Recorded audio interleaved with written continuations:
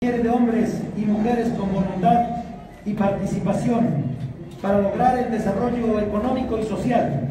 Por ello,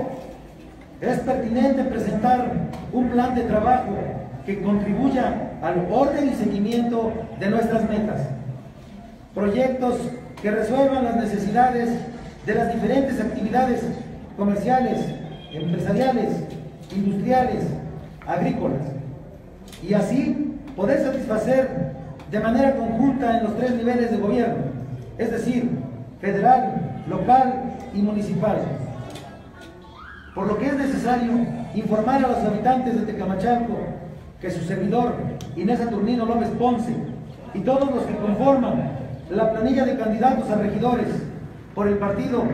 Partido Social, Partido del Pacto Social de Integración y Compromiso por Puebla,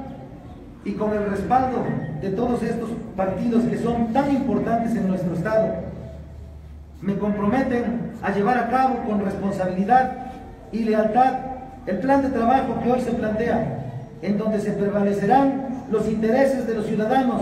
como eje fundamental y base sólida de esta política que exige la sociedad. Hoy la política es la razón de ser de un pueblo,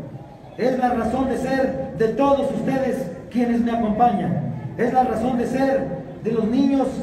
hombres y mujeres que creen en los resultados positivos que se den en nuestro municipio,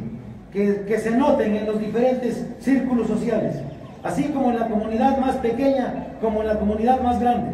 donde no debe haber ciudadanos de primera ni de segunda, solo el poder de servir como la única opción para quien aspira a un cargo de elección popular. Para eso, para eso vamos a hacer nuestro plan de desarrollo.